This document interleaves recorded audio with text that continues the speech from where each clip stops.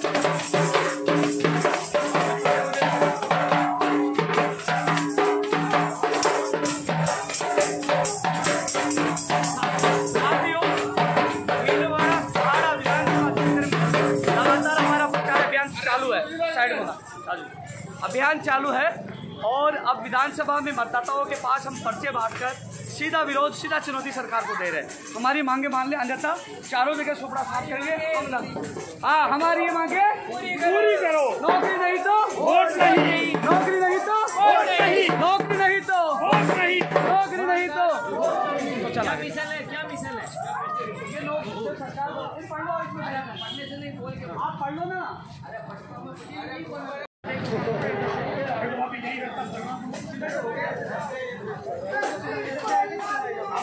you.